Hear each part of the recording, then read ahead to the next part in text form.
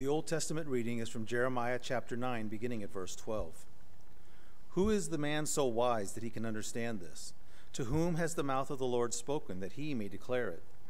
Why is the land ruined and laid waste like a wilderness, so that no one passes through? And the Lord says, Because they have forsaken my law that I set before them, and have not obeyed my voice or walked in accord with it, but have stubbornly followed their own hearts, and have gone after the Baals as their father taught them, Therefore, thus says the Lord of hosts, the God of Israel Behold, I will feed this people with bitter food, and give them poisonous water to drink. I will scatter them among the nations whom neither they nor their fathers have known, and I will send the sword after them until I have consumed them. O Lord, have mercy on us. The epistle reading is from 2 Timothy chapter 3 beginning at verse 1. But understand this that in the last days there will come times of difficulty for people will be lovers of self, lovers of money, proud, arrogant, abusive, disobedient to their parents, ungrateful, unholy, heartless, unappeasable, slanderous, without self control, brutal, not loving God, treacherous, reckless, swollen with conceit, lovers of pleasure rather than lovers of God, having the appearance of godliness but denying its power. Avoid such people. For among them are those who creep into households and capture weak women, burdened with sins and led astray by various passions, always learning and never able to arrive at a knowledge of the truth. Just as Jannes and Jambres opposed Moses, so these men also oppose the truth. Men corrupted in mind and disqualified regardless of the faith. They will not get very far, for their folly will be plain to all, as was that of those two men. O Lord, have mercy on us. Thanks be to God. Please stand for the reading of the Holy Gospel. A reading from St. Matthew, the 26th chapter. When Jesus had finished all, saying all these things, he said to his disciples, You know that after two days the Passover is coming, and the Son of Man will be delivered up to be crucified. Then the chief priests and the elders of the people gathered in the palace of the high priest, whose name was Caiaphas and plotted together in order to arrest Jesus by stealth and kill him. But they said, Not during the feast, lest there be an uproar amongst the people. O Lord, have mercy on us. Dear friends in Christ, grace, mercy, and peace be with you from God our Father and from our Lord and Savior Jesus Christ. Amen. The text for this morning's sermon is from the last two verses of 7 and 8. All my enemies whisper together against me. They imagine the worst for me, saying, A vile disease has afflicted him. He will never get up from the place where he lies. These two verses shows us that sometimes God's silence is holy and horrifying. There was a cell phone commercial, maybe you've seen it, it showed a father who was sitting in the silence of his living room. The movements of the cars going by, the sound of the environment seemed much louder that day because he was waiting in silent agony for his daughter to call him. She had just left and was making her way to college. She had her phone and everything. She was ready for this trip. He knew she was ready and prepared. But still, that silence of not knowing gave him a fear.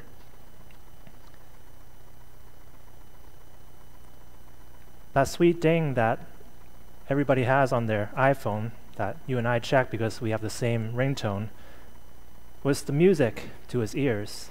It was a melody. It cut the silence and it told the father that she had made it to the school.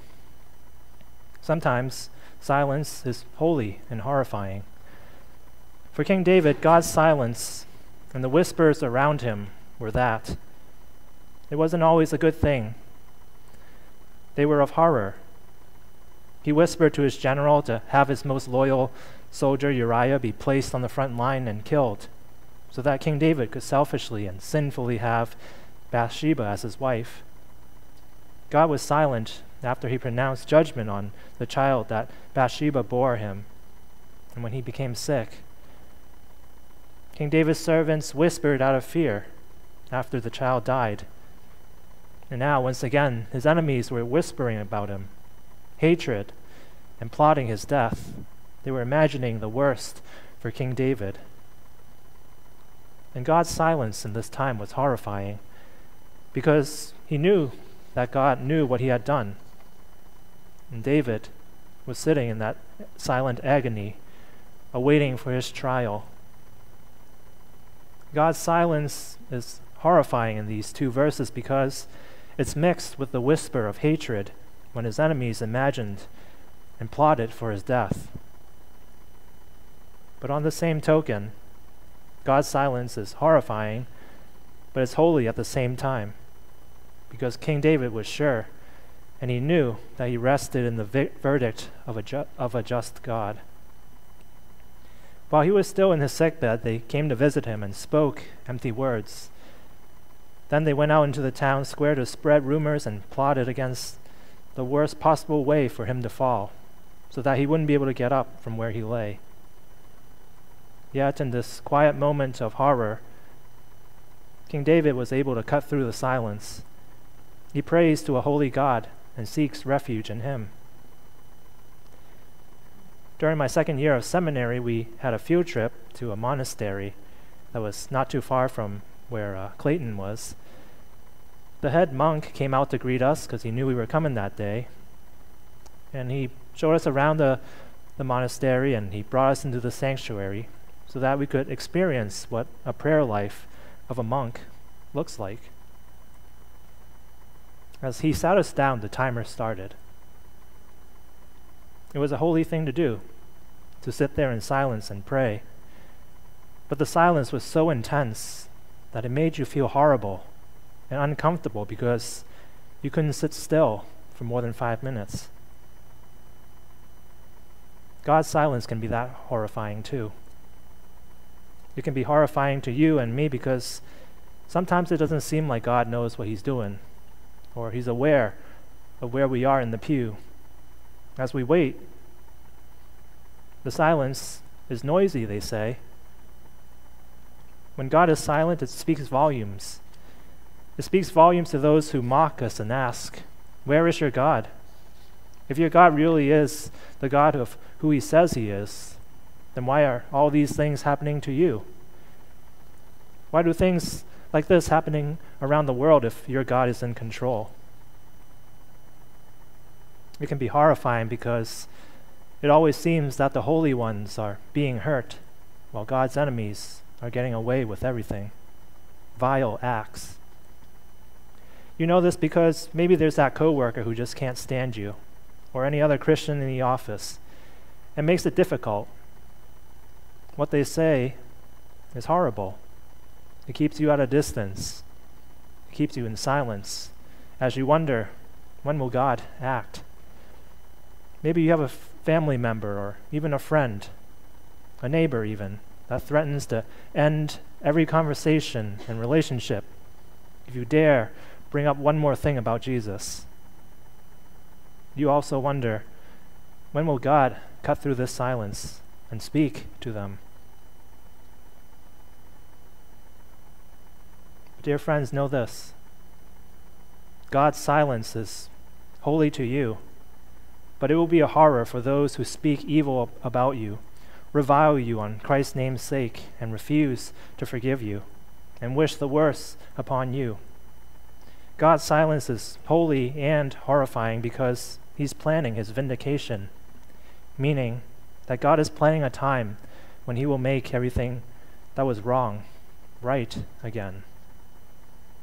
God's silence is holy and horrifying because on Good Friday, he abandoned his one and only Son, Jesus, at the cross. He allowed for the enemies of death and Satan to have victory for these three days. God's silence allowed Jesus to become sin itself. And when he was crucified to the cross, he was the thief on the cross, the murderer and the adulterer. Jesus even cried out, My God, why have you forsaken me? And God did not answer. But we know that even in the death, and even in the silence of the tomb, death does not have the final say. Jesus speaks. His enemies' minor victories will be short lived because Jesus will descend into hell and proclaim victory to the death. And he will rise again on the third day. And in that same way, Jesus will raise you up on the last day. He gave up his life to claim yours so that you would never have to experience the horror of God's silence.